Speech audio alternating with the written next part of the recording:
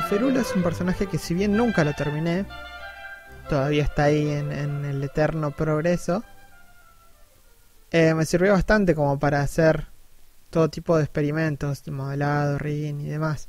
Acá le- les voy a mostrar un poco. Hay un montón de modificadores tipo Lattice, que bueno, en ese momento era el furor de los látices en, en el rigging. Em, por eso que, que- lo hice de esta manera. Hoy en día ni loco lo haría así. Pero bueno, fue cosa de- del, del momento. Ahora también tiene un par de, de shape keys y, y de todo. Pero nunca, nunca lo terminé. Así que si alguien quiere terminarlo, bienvenido sea.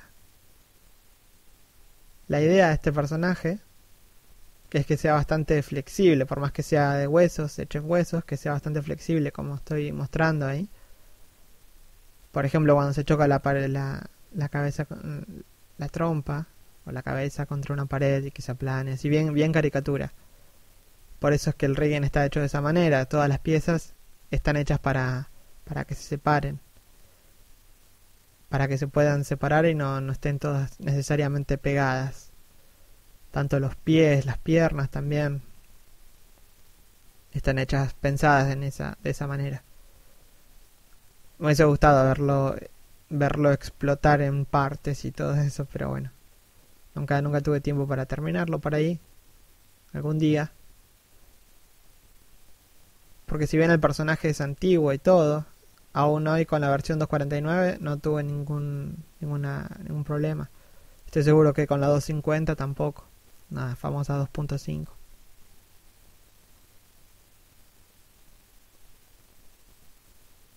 Vamos a borrar entonces los látices. Ah, estos son los látices.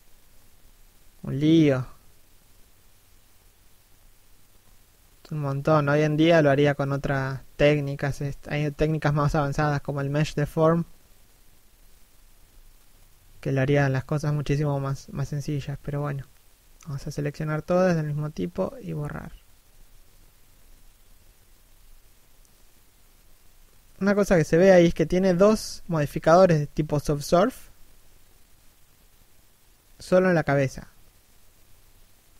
Luego tiene en el cuerpo también, ¿no? Pero en la cabeza tiene dos modificadores. ¿Por qué dos soft surf? Porque está utilizando dos tipos diferentes de subdivisión. El primero Ah, primero vamos a verlo sin ninguno. Este es por defecto, no tiene. No tiene ningún tipo de suavizado, nada más. El set smooth y nada más. Esa es la malla original. Después le apliqué un eh, tipo de subdivisión normal.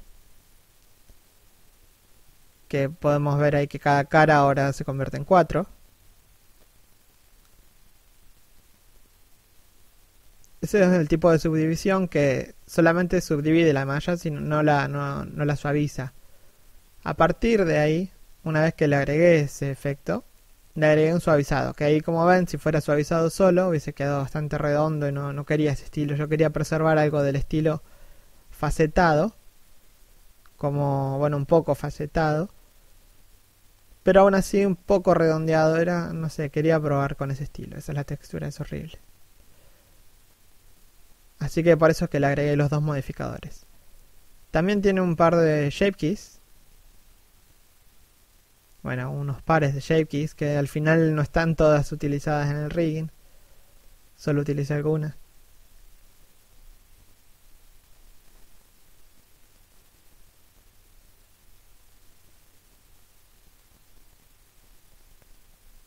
Después luego lo que es el cuerpo también está de la misma forma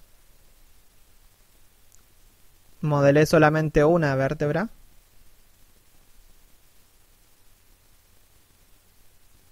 Lo que hice fue duplicarla, en algunas partes la, rompí. O sea, la, subdividí en una parte, como para que dé la, la sensación de que estaba rota. También tiene dos soft surf.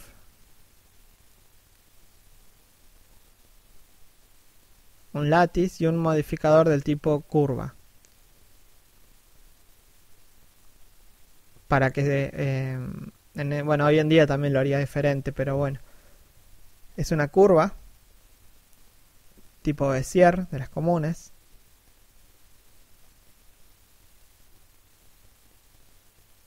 La, eh, la cual controla el movimiento de eh, la columna.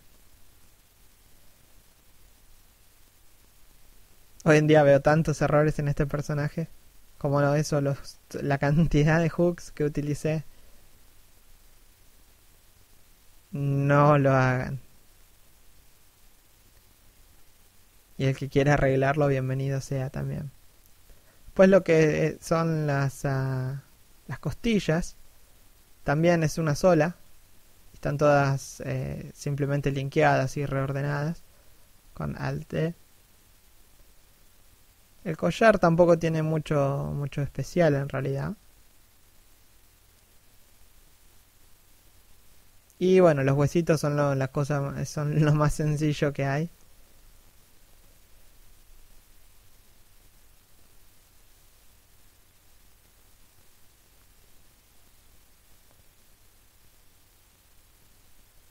Es una forma cilíndrica, como podemos ver. Bastante sencillo. No, no me acuerdo cómo los modelé, pero seguramente empecé desde un cilindro o un cubo subdividido.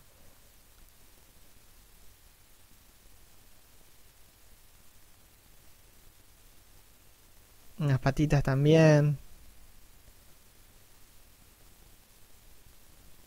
Hoy en día por ahí le, agregaría un poco más de detalle, pero bueno. Tiene su tiempo ya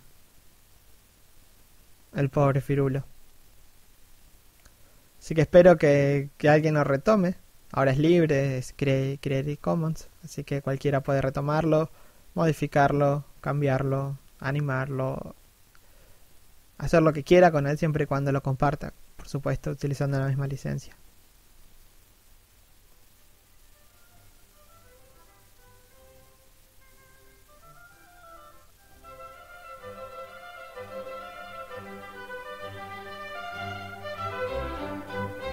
Así es, ese fue Firula.